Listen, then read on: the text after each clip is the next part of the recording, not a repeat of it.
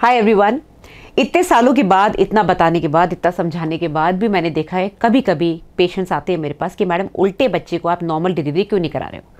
इस पर इतने लोग इतने क्वेश्चन पूछते हैं, मुझे ऐसा लगता है कि मुझे वापस से ये वीडियो बनाना चाहिए। मेरा एक पहले वीडियो आ चुका है, जो कि आप लोगों ने बहुत लाइक करा है। तीन मिलियन से ऊपर उसके व्यूज़ हैं बट मुझे लगा वो काफ़ी पुराना हो गया, शायद वो दब गया कहीं जाके, क्योंकि इतने सारे वीडियोज़ हो गए। तो रिपीट एक वीडियो ज़रूरी था आपको बताने के लिए कि पहली बात कि बच्चा उल्टा होता क्यों है पेट में?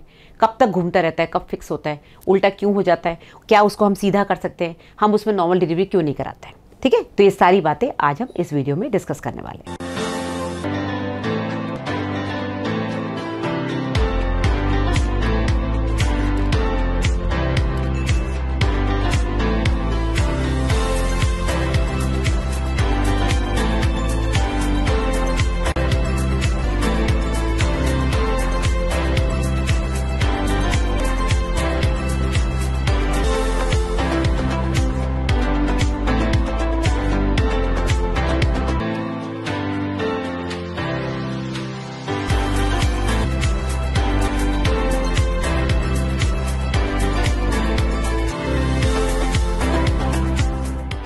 सो गाइज़ उल्टा बच्चा, यानी कि बच्चे का सिर नीचे ना आके बच्चे का बम्स ये वाला हिस्सा नीचे आ रहा है, ठीक है? हम सिर्फ़ सीधे की बात करेंगे, सीधा यानी कि बच्चा लॉन्गिट्यूडनल लाइन में है।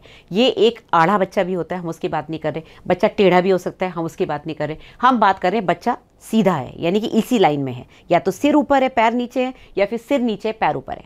ज़्यादातर बच्चा ग्रेविटी लॉ को फॉलो करता है। यानी कि ग्रेविटी यानी कि जो नीचे हमारा अर्थ का ग्रेविटेशनल फोर्स है, उसको फॉलो करता है। तो जो चीज़ हैवी होती है बॉडी की, वो नीचे आ जाती है। जैसे आप कोई हैवी सूटकेस लेके घूमेंगी, आप उसको आराम से सिर पे थोड़ा रख पाएँगी, वो सूटकेस आपको नीचे खींचेगा, क्योंकि वो हैवी है ग्रेविटी उसको खींच रही है। सिमिलरली आपका बच्चा जब पूरा बन जाता है, नौ महीने का thirty six thirty seven weeks के अराउंड तब उसका सिर काफ़ी बड़ा होता है एज कंपेयर टू उसकी बॉडी और उसके हिप्स इतने छोटे से होते हैं।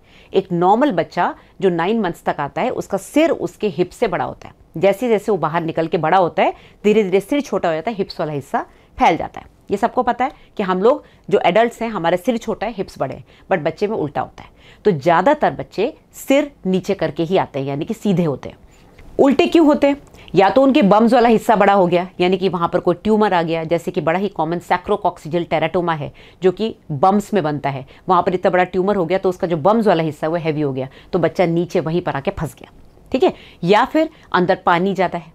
पानी ज़्यादा होगा तो क्या होगा? बच्चा घूमता रहेगा। अब कितनी बार पेशेंट मेरे से आके पूछती हैं, आज ही एक पेशेंट आई थी थर्टी टू वीक्स पे मैंने उसकी सोनोग्राफी करी, बच्चा उल्टा था। जब मैंने सोनोग्राफी करी, वो मेरे सामने सामने घूम गया, सीधा हो गया, फिर वापस आड़ा हो गया तो बच्चा बहुत ज़्यादा घूम रहा था। उसका पानी ज़्यादा था पेट में। पानी ज़्यादा होने की वजह से प्लस बच्चे का वेट थोड़ा सा कम होने की वजह से यूट्रस में इतनी स्पेस होती है कि बच्चा अंदर पूल में स्विमिंग पूल में हिचकोलियाँ खाते रहता है। 36 37 वीक्स तक इस बच्चे को फिक्स हो जाना चाहिए। यानी कि या तो उल्टा या सीधा। जहाँ भी उसको जैसे भी आना है, वो उसकी पोजीशन फिक्स होनी चाहिए।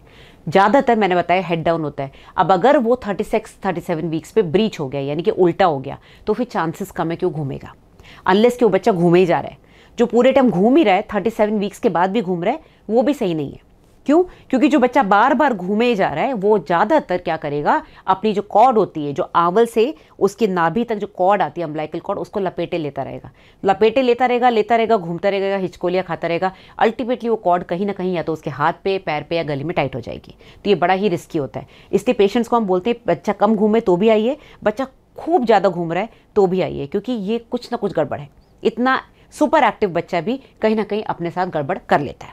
तो या तो पहली बात, ये वाला हिस्सा भारी है बच्चे का तो नीचे आ गया। या फिर पानी ज़्यादा तो बच्चा हिचकोले खा रहा है, खाए जा रहा है। या फिर मल्टीपल प्रेगनेंसी है, यानी कि पेट के अंदर दो बच्चे हैं। अब दो बच्चे होंगे तो ऑब्वियसली साइज़ छोटा होगा। तो जो दो बच्चे होते हैं, वो आपस में कंपटीशन में कोई सीधा, कोई उल्टा, कोई टेढ़ा, कोई बाका इस तरह से चलता रहता है। तो ज़्यादातर ट्विन प्रेगनेंसीज में बड़ा अनकॉमन है कि दोनों बच्चों का हेड डाउन हो। पहला अगर हेड डाउन है तो नॉर्मल डिलीवरी पॉसिबल है, क्योंकि पहला निकलने के बाद दूसरा वाला कई बार अपने आप को सीधा कर लेता है।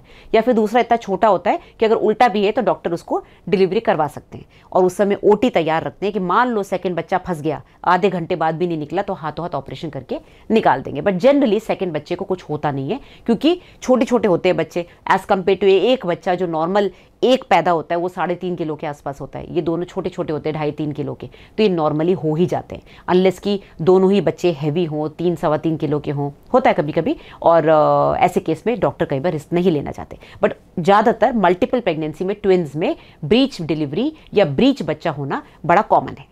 अच्छा कई बार नीचे प्लासेंटा प्रीवियर यानी कि आंवल नीचे होने की वजह से भी बच्चे का सिर नीचे नहीं आ पाता। क्योंकि बच्चे का सिर होता है हार्ड, अब नीचे अगर आंवल होगी तो आंवल कहीं ना कहीं उस बच्चे के सिर को नीचे ना आने देती है। वो नीचे का वो एरिया पूरा कवर कर लेती है। तो एरिया वाला जो जो जहाँ पर बच्चे के सिर को फिक्स होना है, उसको पूरा आवल ने कवर कर लिया तो बच्चे के बम्स वहाँ आके बैठ जाते हैं। ठीक है? तो प्लासेंटा प्रीविया में उल्टा बच्चा होना कॉमन है। देन पानी कम होना। अभी मैंने आपको बताया पानी ज़्यादा होना। पानी ज़्यादा होने की वजह से बच्चा फिक्स नहीं होता, घूमता रहता है। पानी कम होने की वजह से बच्चा एक जगह फंस जाता है। अब क्या होता है कि जब आपका बच्चा ठहरता है तो आठ महीने तक ज़्यादातर जो प्री टर्म बच्चे होते हैं, उनका सिर थोड़ा छोटा होता है और हिप्स थोड़े बड़े होते हैं। ठीक है? तो प्री टर्म बच्चों में, क्योंकि बच्चा उस समय जस्ट घूम ही रहा है और उसको नीचे सेटल होने में टाइम लग रहा है, उसको नीचे सिर आने में टाइम लग रहा है, क्योंकि नाइन मंथ्स अभी हुए ही नहीं है, उसके पहले उसको दर्द शुरू हो गया। तो जब प्री टर्म बच्चा डिलीवरी होती है तो ज़्यादातर वो उल्टा ही होता है, क्योंकि अभी वो अभी पूरी तरह से फिक्स नहीं हुआ था, अभी उसके सिर ने बड़ा आकार नहीं लिया था। तो ऐसे बच्चों में कई बार ऐसा होता है कि प्री टर्म डिलीवरी ब्रीच में हो जाती है। और रिस्क किस चीज़ का रहता है? रिस्क सबसे ज़्यादा ये रहता है कि अगर ये वाला हिस्सा निकल गया, सिर फंस गया तो क्या करेंगे? ठीक है? तो प्री टर्म डिलीवरीज हो गई, पानी ज़्यादा हो गया, नीचे ट्यूमर हो गया प्लासेंटा प्रीविया हो गया, या फिर मल्टीपल प्रेगनेंसी या फिर यूट्रस की शेप यूट्रस की शेप बड़ा कॉमन है बार बार ब्रीच डिलीवरी होना। जैसे कई बार मैंने देखा है, कोई पेशेंट आएगी, बोलेगी, मैडम, पिछली बार सीजरिन हुआ था क्योंकि उल्टा बच्चा था।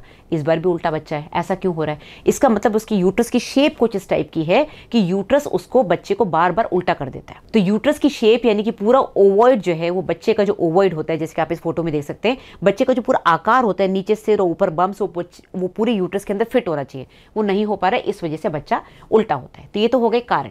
अब आपको करना क्या है? आपको कुछ नहीं करना है। आपको सिर्फ़ अच्छा खाना खाना है अच्छा अच्छे से अपने आप को हाइड्रेट रखना है, आपको अपनी दवाइयाँ प्रॉपर लेनी है डॉक्टर को टाइम से दिखाना है। अगर डॉक्टर ने बोला है सोनोग्राफी करानी है तो कराइए। आप इसको घुमाने की कोशिश ना करें। हाँ हम लोग गर्भ संस्कार कराते हैं।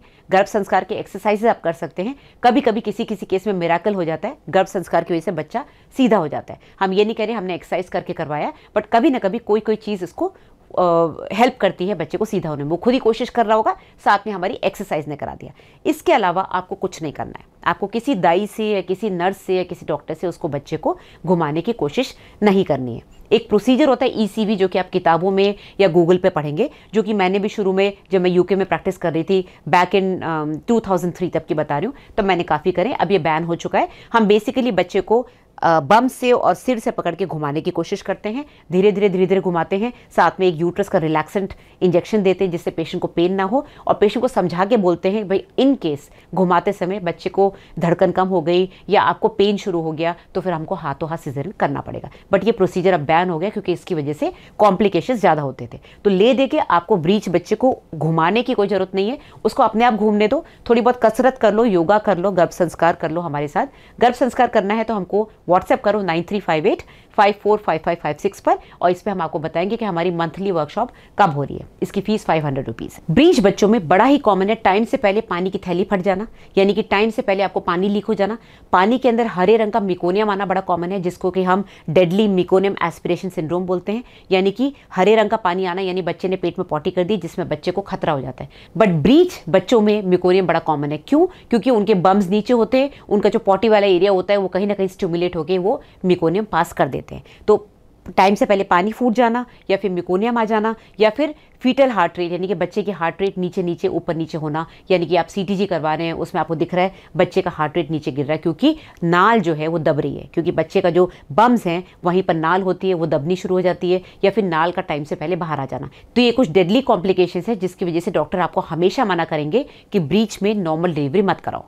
कभी कभी ऐसा होता है कि अनडायग्नोज ब्रीच आते हैं। हालाँकि आजकल ऐसा बहुत कम होता है पहले बहुत होता था जब लोग सोनोग्राफी टाइम से नहीं कराते थे और रात में एकदम से गाँव से बस आती थी, वहाँ से कोई कॉम्प्लिकेटेड केस आता था तो बच्चे का पैर कभी बाहर आया हुआ है, नीचे से ऐसे जनरली केसेस में डेड बेबीज़ मिलते थे हम लोग को, क्योंकि बच्चे का एक बार पैर बाहर आ गया या नाल बाहर आ गई, उसको हाथों हाथ डिलीवरी नहीं कराए तो बच्चे की डेथ होनी है। ठीक है? तो जो अनडायग्नोज ब्रीच होते हैं कभी कभी आते हैं, जिनकी कभी सोनोग्राफी नहीं हुई, या फिर जिनके ट्विंस बच्चे में एक बच्चा हो गया और सेकंड फंस गया तो इस तरह के केसेस में हमको और कोई चारा नहीं होता, हमको डिलीवरी करानी पड़ती है। तो इसमें हम डॉक्टर्स को टेक्निक्स पता है कैसे करना है। हाँ we can give it a try कभी कभी वो फंस भी जाता है, पर उस समय क्या करें? जब उस समय आप ऐसी कंडीशन में आओगे कि बच्चा बाहर ही आ रहा है और ब्रीच नीचे लटका हुआ है तो फिर क्या करेंगे?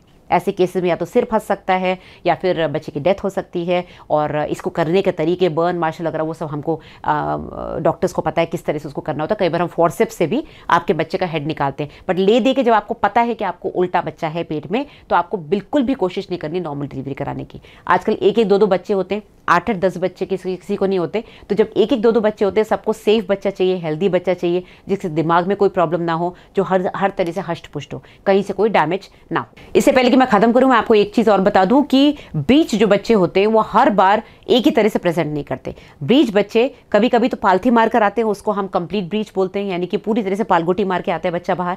या फिर फ्रैंक ब्रीच होते हैं, जो कि बेस्ट होता है, यानी कि बच्चे के दोनों टांगे ऐसे ऊपर की तरफ़ है, सिर के पास तो उसका जो नीचे वाला बम वाला हिस्सा, वो इतना छोटा सा रह जाता है। तो उसको हम बोलते हैं फ्रैंक ब्रीच और एक होता है फुटलिंग प्रेजेंटेशन यानी कि बच्चे ने पालथी मारते मारते एक पैर नीचे डाल दिया। एक पैर नीचे डालते ही विजाना के बाहर उसका पैर आ जाता है और वो सबसे डेडली होता है क्योंकि उसमें बच्चे को बचाना बहुत मुश्किल होता है। तो ले दे के आज की वीडियो में मैंने आपको समझा दिया कि नॉर्मल डिलीवरी ब्रीच बच्चे में बिल्कुल भी कोशिश मत करिए, चाहे आपका वो पहला बच्चा हो, चाहे तीसरा हो, चाहे चौथा हो। ठीक है?